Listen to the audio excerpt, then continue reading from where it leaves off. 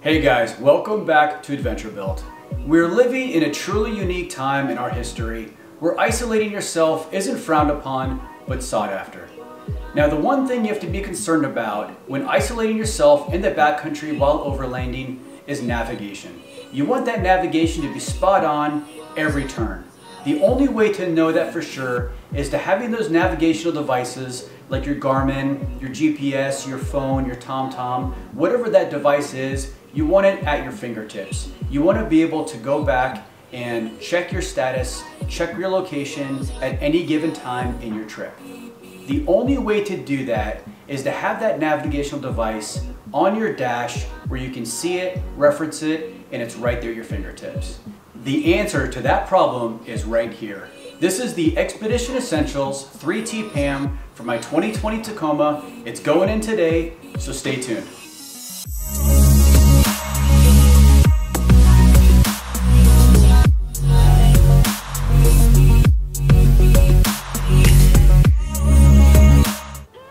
You guys know this, but I'm kind of a technology nerd. I like having my phone, my tablet, I have a backup Garmin 510 set up for navigation as well. I like having redundancies to my navigation. The last thing you want to do is have something go down and you're stuck out in the desert with no way to get out. Having three or four redundant systems set in place will ensure that you'll get out every time. This Expedition Essentials 3T PAM is the gold standard when it comes to your accessory mounts. The 3T PAM accepts this diamond plate ram mount and you can fit five of these on the plate itself. Now these can hold your phone, your tablet, your Garmin, a camera, a CB radio, it can pretty much hold anything that you can find a mount for. Also, in the center of the 3T PAM are two high-speed USB chargers that wire into the dash itself to give you charging capabilities from the bracket itself, which is really impressive. All right, so let's get this started. These are all the tools you're going to need to get this job done. Socket driver, 10 millimeter deep socket, pair of pliers, Phillips head screwdriver, 9 millimeter wrench, rounded off file, 564 pilot drill bit, 1 quarter inch drill bit, center punch. I like using these Stabilo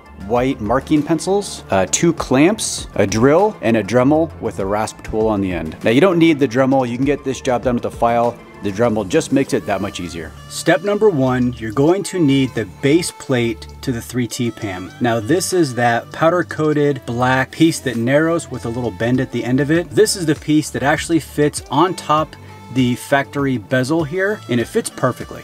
Now what you're gonna do is you're gonna put this piece up in place in the bezel and you can see the little notch that it will sit in on top of the bezel. Put it in there and then we're gonna mark the holes with my white uh, marking pencil. I will put the link to these pencils in the description. This is the Stabilo white marking pencil. It does a really good job, even on all kinds of different materials, plastic, metal, wood. I think these are just a really good marking tool. Now you're going to take the bracket. You can see how it narrows on this end and it gets thicker and there's an angle. It goes along with the molding of the bezel itself. It's going to fit in here. And you'll want this to be completely flat, flush, and pushed all the way into the groove.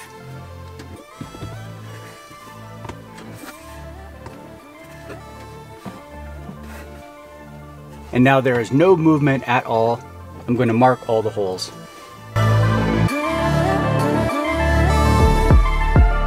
Now that we've marked the holes, we're going to pull this bracket off and set it aside. Now that we have the holes for the bottom bracket marked on the factory bezel, we're going to remove the bezel off the dash. Start on one end, use your fingertips and pull straight out. It's gonna feel like you're breaking something, but really you're separating the tabs and pulling it straight off.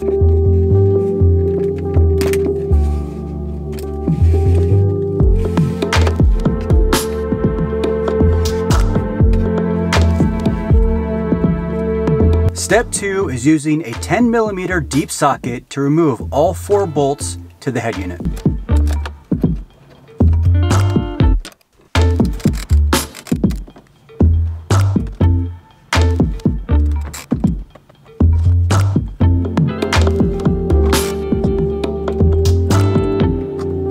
In step number three, we're going to be removing the climate control bezel on your dash. To gain access to be able to remove this bezel, you have to remove a screw down by your foot in order to pull the left side of the steering column uh, trim piece off just a little bit to build the excess behind that. Now the bolt you want to remove is right here and it takes a 10 millimeter socket to loosen it. Now with the bolt out, grab the bottom of the console and just start pulling and it will separate.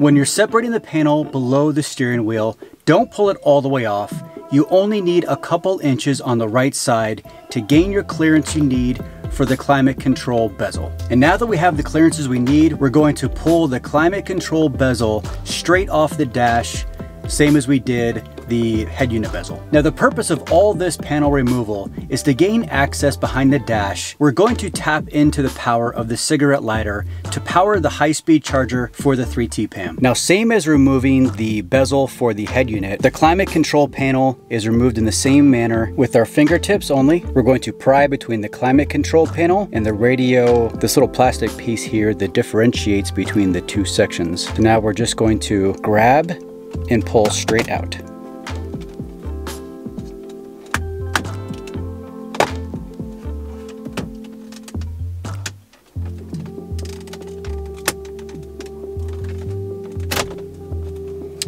and it's free. Now with the climate control panel completely free, we're going to just set it down here and let it hang. The cigarette lighter that we're tapping into for power is right here. The actual connector for it is back behind the panel, down kind of deep in here. It's gonna be pretty hard for me to get video of this, is grab onto the connector that holds onto the cigarette lighter and just pull the connector itself, not the wire, but the connector straight back. So as you can see, this is the wiring harness that powers the cigarette lighter. You can tell that there is a purple wire and a white with a black line wire. The purple wire is going to be positive, the white wire with the black line is going to be negative. We're going to be using these wire taps first. These are a quick and easy way to tap any wire into a pre-existing wire without having to strip that wire down and solder it. It's fast and efficient and very effective. You can see how one is a pass-through on top and this one is solid. It bottoms out. The bottom one is where our new wire is gonna go into and the top one is going to be the pre-existing factory wire. So let me show you how these things go on. It's gonna be a little hard to film, but I'm sure you guys will get the gist. First things first, you want to orient these so that the wire that you are using is going to orient to the up position. Try to hang on to the wire and pull down as much of the loom as you can to expose as much of the purple and the white wire as possible. We're going to start with the positive, put the wire tap onto the positive wire and make sure you're working positive to positive and negative to negative. Then we're going to insert the positive wire till it bottoms out and now we're going to close the door of the wire tap and squeeze all the way down. And now take your pliers and crimp it down real good. And you want to make sure this is all the way on. Everything is nice, tight, and protected. I pulled the wire loom down a little bit to get a little bit more wire to work with because that was a little too tight. And the same thing for the negative. We're going to make sure that the wire is indexed facing up. That way both the positive and negative wire to the high-speed charger go up because that's the way that they have to index. We're gonna slide the wire tap over the white and black line coming out of the cigarette lighter, just like so. And then we're going to grab our black wire, which is our negative ground. And we're going to slide that onto the other side.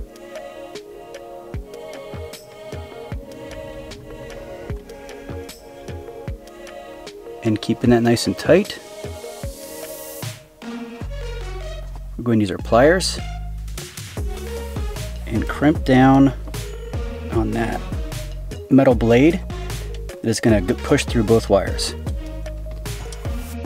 And now that's nice and tight in there. You can see that the blade is flush with the mount itself. And now we're going to take this door, we're going to close the door on it until it snaps. And that's it. The directions call for you to feed the wire behind the stereo before you actually wire it up. I couldn't do that. I needed all the slack I can get because of video. Otherwise the wire would have cut across the camera lens. That's just the way it is. Not a big deal. All I'm gonna do is I'm gonna pull the head unit out of the dash and feed the wire up behind it and then put the head unit back. Before I do any of that though, I'm going to test the cigarette lighter and I'm gonna test the high speed charger on the 3T PAM. I wanna make sure everything works before I start wiring things up permanently. Now I'm going to test the 3T PAM to make sure it's operational. The vehicle is on. I have not yet reconnected the socket to the cigarette lighter. However, this should still work. I'm going to plug it in and is now on. It's charging. The high-speed power port is operational. Now we're going to reconnect the socket to the cigarette lighter and make sure that's operational as well. Reinstalling this socket is going to be the same as when we removed it. Just putting it back on those two pins in this orientation just like that. Now be careful of these two wires. You don't want to crimp them. And you definitely don't want to get them stuck uh, between something that might have them come loose later. Now with the socket power reapplied, I'm going to plug in our cigarette lighter adapter and make sure that it works. All right, power light's on. GoPro is charging. Socket is operational. I'm going to take the wires of the 3T PAM high-speed charger I'm going to pull out the stereo. I'm going to route it up and out the side.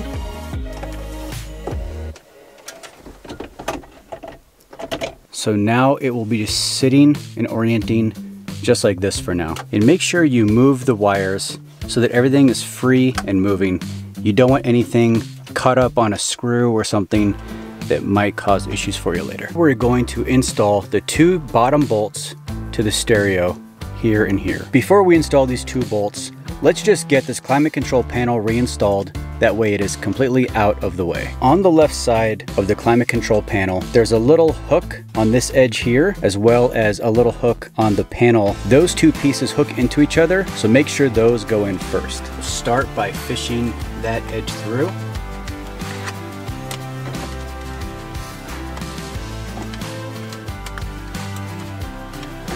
Line up your tabs.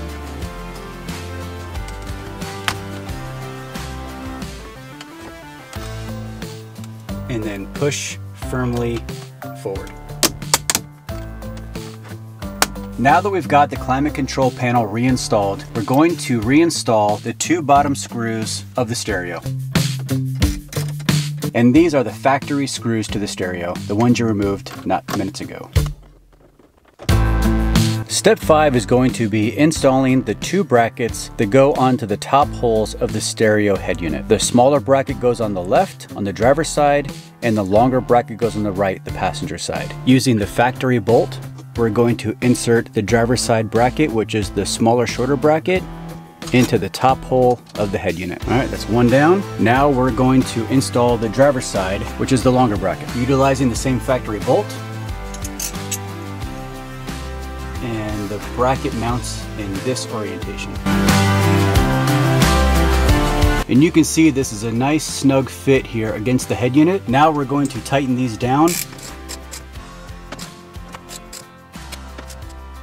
All right, it's all in there nice and tight. For these next couple steps, we're gonna be here on the bench top. When we had the stereo bezel in the vehicle, we marked the holes that we have to drill. Now with the top plate, I just like to make sure this is a measure twice, cut once scenario. I'm taking the bracket, I'm pressing it up into the groove and just visually looking to make sure that the white marks that I made line up.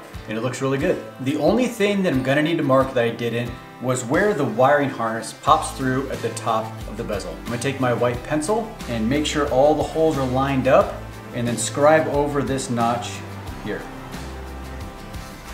And now I have to drill some holes and remove that material where the wiring harness pops through. Let me show you how this base plate actually fits into the bezel perfectly. From this plastic here to this black plastic here, this is actually all recessed from the bezel. When you put this on, it's now flush this way and flush on the backside here. And you can see just looking down, all the holes line up perfectly. And I'm going to recheck everything. And this is where the wiring harness is going to pop through. All right, everything's looking great. I feel very confident that when I drill these holes, it will fit perfectly. Looking at this base plate, there are a lot of holes on this thing. I wanna point out the holes that actually matter for our application. This hole here is the first hole, this is the second hole, this is the third hole, this is the fourth hole, and this is the fifth hole. All of these smaller holes that if you look on the backside are actually threaded, they are to a standalone plate that we do not have for our application. And then you can see as it translates onto the bezel, slotted hole, large hole, large hole, large hole, slotted hole. And of course, where the wiring harness will pop through here. Before we start drilling, I like to center punch everything. I'm just going to go through, hold the bezel firmly, and center punch. Move to the second larger hole, center the punch up on there, center punch it. Moving to the third hole, make sure it's lined up right in the center of the hole, center punch it. Fourth hole, and the fifth hole. Now that I have everything center punched, I'm going to start the holes with a 5 64 inch pilot hole. Like I said before, this is a drill once scenario. I do not want to make a mistake.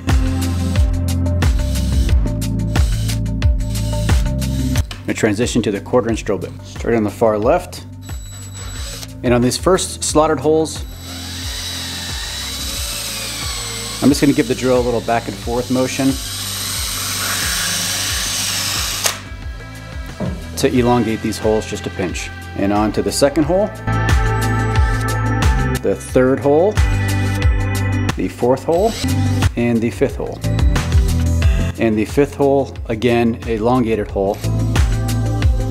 All of the holes are drilled and I just cleaned them up by pulling out the excess plastic on the backside. Now I'm gonna grab my Dremel with my little auger bit here and all I'm gonna do is just drill out this little part here where the wiring harness is gonna pop through.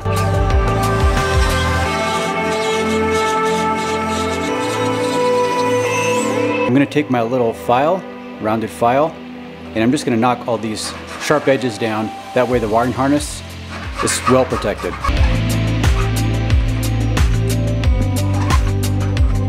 And just check with your finger. If it's sharp on your finger, it's gonna be sharp on the wiring harness as well. All right, that feels pretty good. The next step is going to be installing the base plate onto the bezel, and this is going to be a fitment, kind of a dry run. We're gonna do that by using these two 832nd by half inch flathead screws into the second and the fourth hole. And then we're going to use a washer, put the washer on, and then the nylock nut. And by the way, guys, this is a foam pad that I'm keeping this on, even though this is a wooden workbench. I don't want to get this all scratched up, so I'm keeping this bezel on the foam pad to protect it. Screw goes through the fourth hole, washer goes on the screw, and then the nylock nut goes on the screw also. It's gonna be easier to go in from the screw side than the nut side because of this tab right here. Now utilize your nine millimeter wrench and your Phillips head screwdriver and tighten these down. Those are all nice and secure. Now I have noticed I have a lot more plastic showing than I wanted to. I'm just gonna take my rounded file and file that down a little bit. That way the plastic and this aluminum piece have the exact same dimension.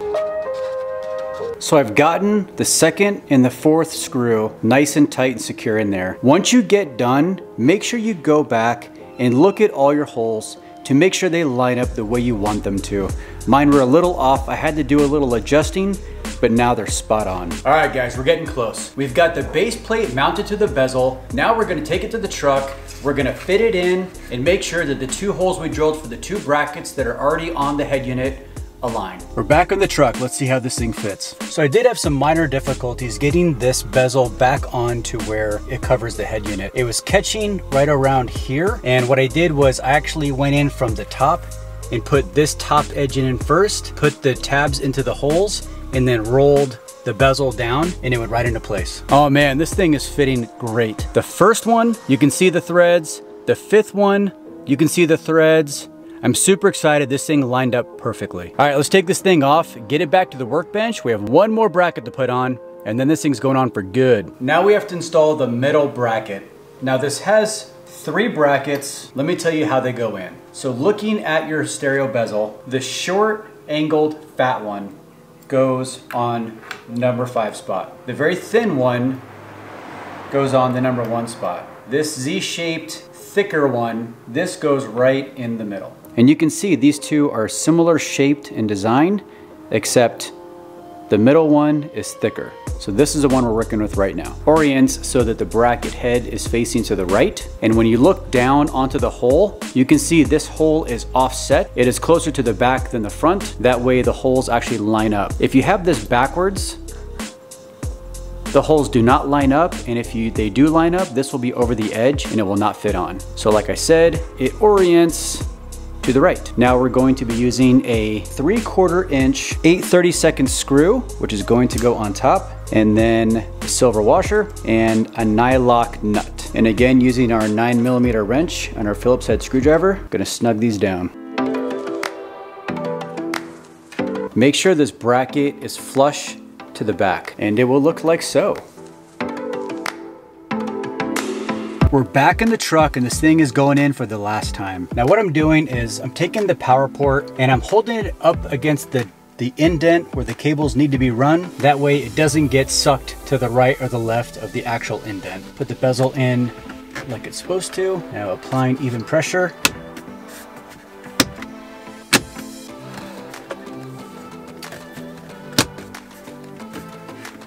Perfect. Look at that. Nice and secure. Step number 12. And don't worry guys, we're almost there. There's only 15 steps. So we're so, so close. Step number 12 is going to be installing the thin bracket.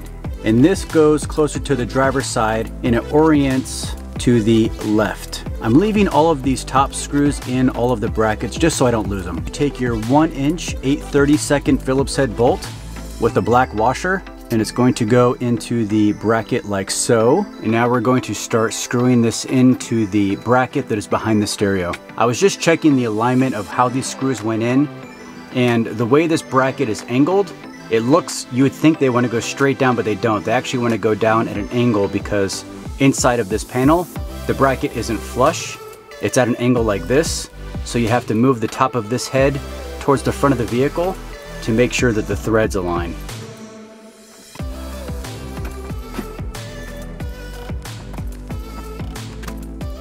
You want this bracket to be a little loose so you can adjust it back and forth. That way when we put the 3T-PAM on top of it, you can align these holes for these screws here. All right, finally, the last bracket. This one goes on the right side and the screw head goes up and the bend orients towards you like so. And we are using the same one inch screws as the last bracket. And again, keep this bracket loose so we can adjust it later. It's time to remove these screws, get them out of the way, make room for the bracket to fit in. And by the way guys, a little stubby screwdriver definitely makes this job easier.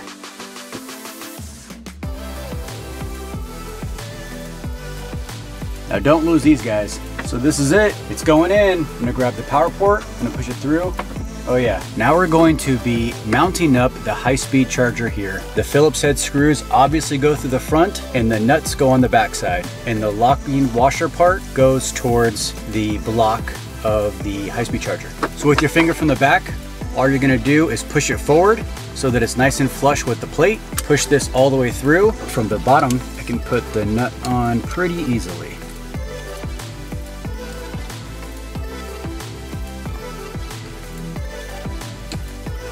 And all I'm doing is trying to get this nut onto the back of it and then I press it up against with my finger and then just spin the, the screw until the threads catch. And the three screws we just removed, we're putting right back in over the 3T PAM bracket. You can see that the screws are going into the recessed holes, the first one, and then the second one, and then the third one over here. Work from the middle first, because this is the bracket that cannot move, and then I worked to the driver's side, and then I went over to the passenger side and did that one. And when you're lining the holes, if they don't line up perfectly, Remember, you can use, this is a little file. This was actually very helpful to get the holes to line up. Now these are already started. I'm gonna start in the middle. I'm gonna tighten this one down and tighten this side down. Now I'm moving to the passenger side to get this side tightened down. Now that all three of these top bolts are tightened down. You can feel behind and see which side the threads are on. And I'm basically tightening down the bracket on the inside to the two brackets that are attached to the head unit. And for the passenger side, tighten the inside bracket from right on the slotted hole.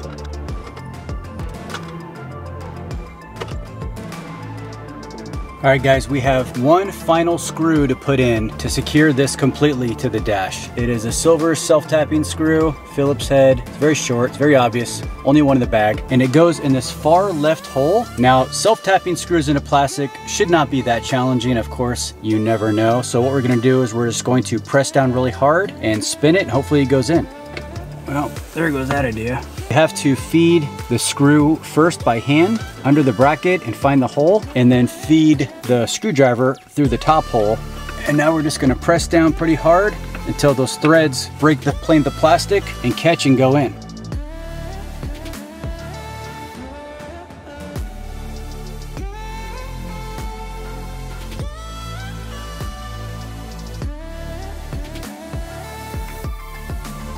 Whew. All right, that took a long time, but that is in nice and tight. We've got the 3T PAM installed and it looks amazing. However, we're not done. This is a wire cover. Now this isn't necessarily a necessity, but it does make the back of the 3T PAM look way nicer because you don't see any of the wires or any of the mounting. It's just a clean, nice slope back to it that goes right into the dash. Makes it look super factory. I highly suggest getting one. And this is how it mounts. So basically imagine that this is a plate that only holds the nuts in place for the back of the 3T PAM and the back of the wire cover. So this hooks into the 3T PAM and the wire cover goes in like this. So all you see is a seamless slope into the dash. Definitely worthwhile. In the bag of hardware are these six Phillip head black screws. This plate has two sides to it. One side is flat on this side, you can see this is where they are tapped and we're going to be using the flat side facing up. And we're going to put it so that it basically goes into the second, third, and fifth of the holes you're not using thus far. And all we're going to do is place it on here and we're gonna put them on finger tight. And all we're doing is screwing this thing together, but leave it loose. I've gotten the three screws to the wire plate cover and they're just in here nice and loose. I'm just gonna snug one down to give this thing some rigidity, but still be able to loosen the one screw and move it if need be. Now we take the wire plate cover and it orients so this little hook side right here is going to be on the driver's side and it will just kind of lay on here for now. And we're gonna take our screws and try to line up these holes. Let's tighten everything down.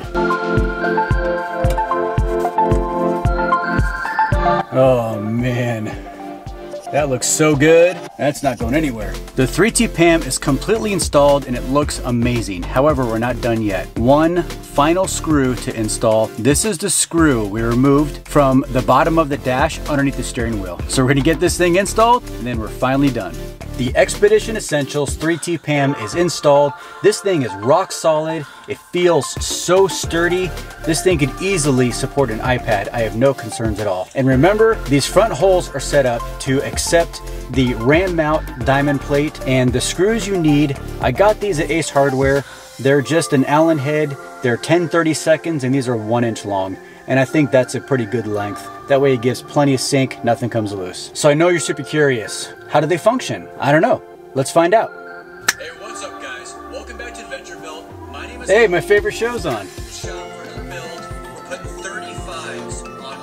I drove my 2020 Tacoma with the newly redesigned Expedition Essentials 3T PAM up this mountain and it didn't rattle a single time. It was rock solid. Now I only have two accessories. I have my phone and my tablet on there. However, it is the brand new iPad 10.2 inch. It is the big iPad, not the iPad Pro, but it's the biggest iPad they have. And it was on there solid. The mount I have is a little janky, it's not the best, it was an Amazon deal, but as far as the 3T PAM, rock solid. No complaints. The install process was a little timely. Obviously, YouTube time, you can triple what it would be for a normal person, and it took me about six hours to do it, so I'm guessing it'd be about two hours for any normal person as a DIY install in their garage. So I hope you guys liked the install. I hope you learned something. If you did, hit that subscribe button, hit like, and we'll see you guys next time. Thanks for watching.